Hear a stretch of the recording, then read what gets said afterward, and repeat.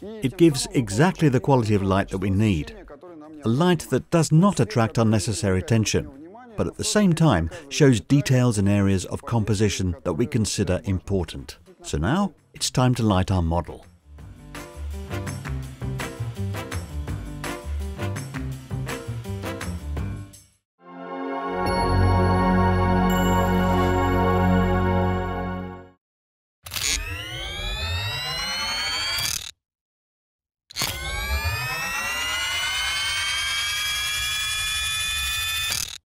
Друзья, всем привет! Сегодня мы записываем очередной видеоурок по постановке освещения в фотографии. Hello, friends. Today we're recording a video lesson on staging lighting in photography. Let's take a look at the basic setup. Длинное темное помещение. In our studio, we have a long dark room with high windows and some elements of interior. И в нашей идее мы бы хотели The idea is to shoot a crazy artist image. Our model will be wearing a transparent dress and will be splashed in red from head to toe. We would like to create a surreal and fairy tale lighting.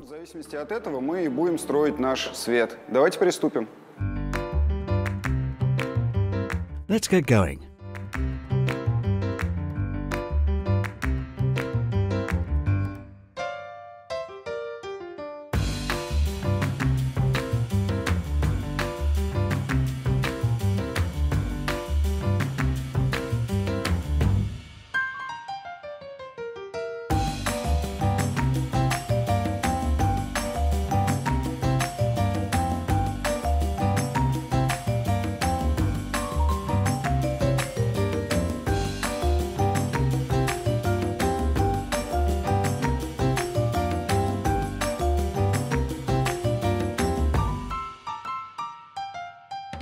Итак, мы подготовили нашу композицию и наш интерьер. So we prepared our composition and interior. Будет в кадре, мы забрызгали The model has been splashed with paint from head to foot, and we have the artist's props. художника. У нас есть мольберт. Let me explain the meaning of our image. И теперь э, внутри этой композиции мы будем выстраивать свет. Хотелось бы определить э, некий принцип. Конечно же, э, смысл э, It's rather paradoxical and fancifying, и какой-то сказочный. so we built the lighting based on this logic. I think it should be some kind of spotted lighting, and there should be a mixture of two colors, warm and cold light. And we start building our light from behind. There we have a window, and from this window we will have some kind of light source, which will be the main direction of the light. Let's try.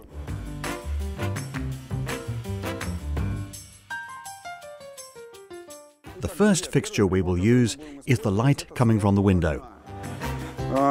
Here we will have to use a little trick, as unfortunately we cannot place the light on the street to shine through the window, as we are high up.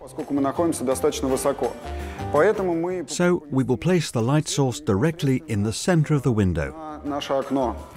I'm using a Dedolight D LED 4 bicolor fixture because we can easily manage the color temperature. управлять э, темпе- температурой света. И, во-вторых, нам не очень хочется, чтобы в кадре у нас торчала стойка. We don't want to have a light stand or cables in our frame, so the D-LED light will be battery operated. И тем самым упростим себе задачу. А к окну, собственно, мы прибор прикрепим с and помощью, attached to the glass window with a sucker mount. который представляет из себя э, присоску и палец, на который крепится лампа. Let's try some options. Итак, я думаю, что уместно будет попробовать Firstly, we will place the light fixture almost right in the center of the window frame to see what light it will give us. он нам даст. Turn it on. Мы э, ставим We will set the light at the widest beam angle угла света because we need a fairly wide coverage. Although the maximum angle of this D-LED light is very wide, the beam is still too narrow.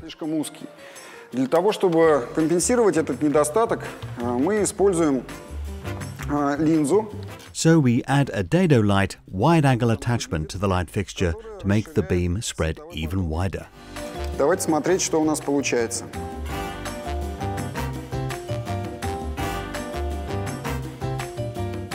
Вот таким образом мы получили достаточно широкий луч Now we are satisfied with the light spread and quality. по своему качеству и по своему цвету. The color is set to bluish, which looks like night. Э, Со стороны улицы будет идти голубоватое освещение. Э, Но, как вы можете сейчас э, увидеть с основной камеры, э, нас не очень устраивает расположение прибора. I'm not satisfied with the position of the light, which is right in the middle of the window. Прямо посередине стекла. И у зрителя It will be seen in the picture. это будет вызывать ощущение ну, непосредственно лампочки, которые там находятся.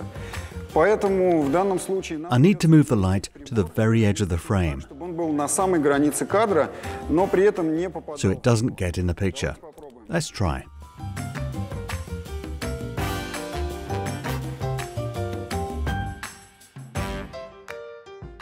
This is a much more suitable position for us. подходящий нам свет. A little bit of light is still visible in our frame, but this is very easy to fix afterwards in Photoshop. Э, Единственное, что нам э, требуется поправить в данном расположении, э, мне кажется, что нужно часть света отсечь. The only thing that we need to do now is cut off the light hitting the grey wall behind the model. Вот эту шторку мы прикроем We now have a beam of light behind us, which suits us in the direction and color. Ну что же, мы получили сзади световой поток, который нас устраивает э, по направлению и по цвету, но не очень подходит нам сюжетно. I now want to add a little bit of fairy tale character to the background. I'm going to break up the light beam to add different colors and textured spots. So, how do we do this? The next light we use is another Dedolight focusable bicolor LED fixture. And again, it is easy to manage the color. This time, the hard beam hits the wall directly. I'm also using this glass bottle to distort the beam coming from the light. In principle, you could use other glass objects to distort the light. через подобную This gives us very good and interesting highlights and textures. интересные блики. You can see for yourself. Можете в этом убедиться. Можем поиграть We can play with the color, but in this case, I want it to be the same color as the main light from the window. удерживал основной свет из окна, то логично будет, если они оба будут в одном цветовом решении. А подвиг, подвиг Moving the bottle changes the effect on the wall. э, тем, как будут у нас выглядеть э, блики в кадре. The effects are good, but from my point of view, there are not many of them. I think it's a good idea to add more texture spots on the floor. To do this, we use a large 650 watt Dedolight fixture, which gives a warm tungsten light. Why such a powerful light? Because we need to pierce the very dark surface of the floor with light, so we need very high brightness. Let's turn it on. We'll see what we get. Too uniform a spot in my opinion, so we'll apply the same effect that we did on the previous device. To do this, we'll take another bottle that we found in the studio, place it on a light stand, and with this simple device, once again we'll distort the light beam. This time onto the floor. Friends, at this point, I suggest that you slow down a little and evaluate the overall composition of the frame. See what we've done well and what is not so good. From my point of view, we have a beautiful and interesting textured light. But there is not enough detail in the frame and not enough sense of space. For this, I think that we need to highlight a little bit of the far corner of the room. Let's see how we do it.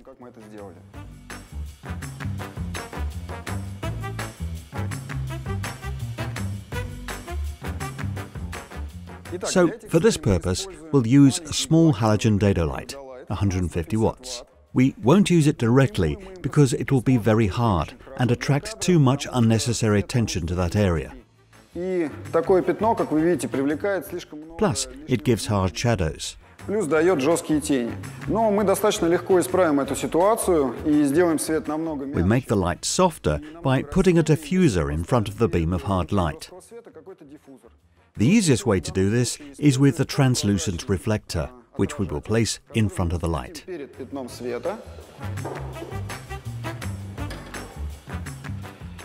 It gives exactly the quality of light that we need. A light that does not attract unnecessary attention, but at the same time shows details and areas of composition that we consider important.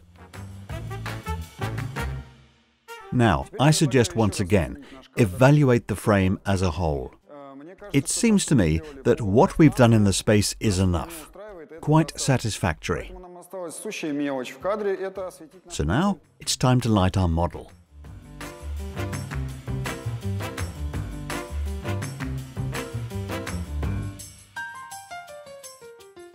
The first light we will set is the key light, which is located at the front and to the side of the model.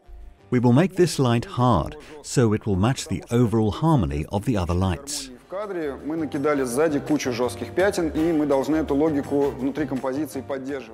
So we use another Dedolight halogen light source, 150 watts. Let's turn it on and see what happens. From my point of view, if we use it directly, it looks too artificial and staged. So we apply the same idea that we used in the background. We use another glass bottle to distort the light beam. This gives us a very interesting structure of spots. Let's see. Everything seems to be fine, but not enough, just a couple of small details. Let's figure out what. First, by lighting the left side of our model, we have created too many deep shadows on her right side. This is not very good for our picture. It would also be nice to see in the picture the paint that we have splattered on the model. So we have to light the shadowed side. We use another Dedolight halogen light source, 150 watts.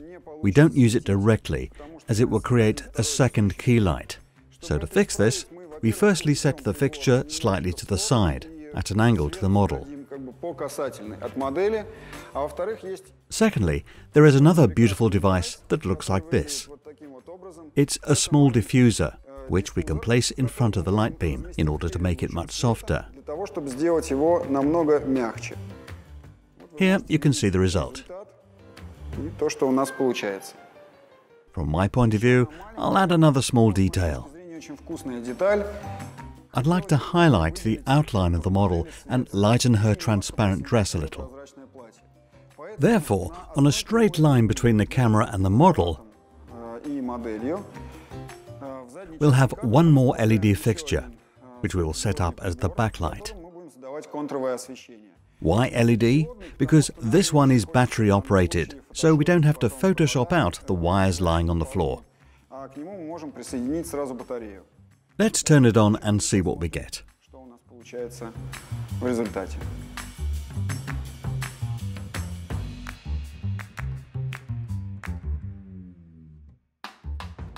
And one small final touch. I would really like to see the hair in the shot. Воздушность. How to do it? Делать. If we direct the hard light fixture to partially fall a little bit into the camera lens,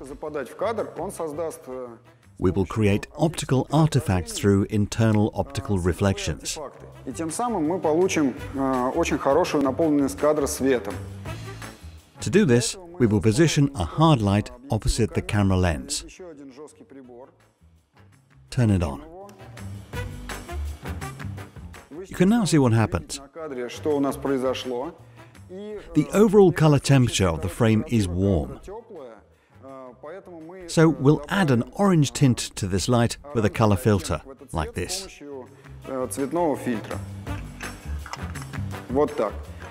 So we've added atmosphere to the air and created some artifacts in the frame. At this point, we can go directly to the shooting.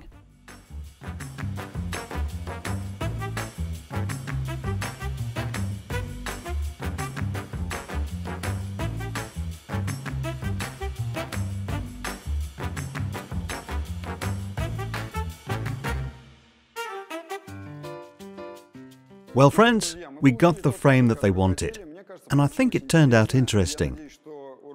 I hope you liked the lesson we did. But in the end, I would like to express a very deep thought in my philosophy. When you do this kind of plot, it would be nice to think in advance how to wash the model afterwards. Well, that's it. I would like to say thanks to all the people that helped us make this lesson. The wonderful crew from Lumi Studio our hosts from the obscure studio where we filmed, and of course, all the guys who helped. Thank you very much for your attention. Bye.